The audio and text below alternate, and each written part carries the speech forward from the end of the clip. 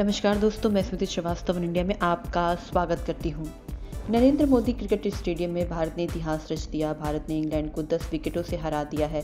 India ने Ahmedabad test में England के खिलाफ शानदार प्रदर्शन करते हुए दो दिन के खेल में ही मैच को 10 विकेट से जीत लिया। ये टेस्ट क्रिकेट के इतिहास में दूसरा मौका है, जब टीम इंडिया दो दिन में मैच जीतने में कामयाब रही है। भारतीय क्रिकेट टीम ने इंग्लैंड को तीसरे टेस्ट मैच में पूरी तरह से चित कर दिया और दस विकेट के बड़े अंतर से जीत दर्ज की।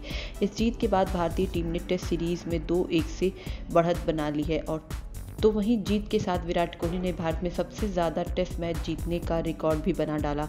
भारत और इंग्लैंड के बीच चार टेस्ट मैचों की सीरीज़ का तीसरा टेस्ट मैच अहमदाबाद के नरेंद्र मोदी स्टेडियम में खेला गया। मैच के पहले दिन इंग्लैंड ने टॉस जीतकर बल्लेबाजी का फैसला लिया, लेकिन ये फैसला कप्तान जो रूट को काफ़ी भारी पड़ा।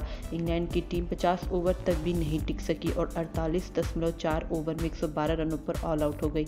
जैक कॉली ने इंग्लैंड की ओर से तिरपन रनों की पारी खेली और बेस्ट स्कोरर रहे।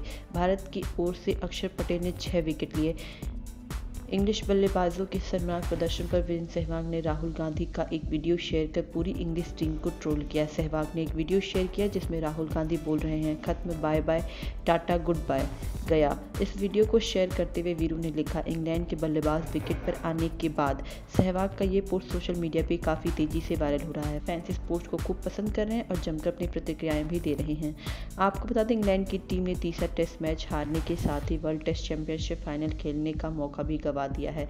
चार मैचों की सीरीज़ की शुरुआत में इंग्लैंड ने चेन्नई टेस्ट जीत कर धमाकेदार आगाज़ किया था, लेकिन स्पिनरों के लिए जन्नत बनी पीछे इंग्लैंड को रोनने की स्क्रिप्ट लिख चुकी हैं। इस समय भारत दो एक से आगे है और बहुत ही कम चांस है कि इंग्लिश टीम अहमदाबाद में ही होने वाले चौथे मुकाबले को भी जीते। फ़िलहाल के लिए खबरों में इतना ही। तमाम अपडेट्स के लिए देखते रहिए। One India.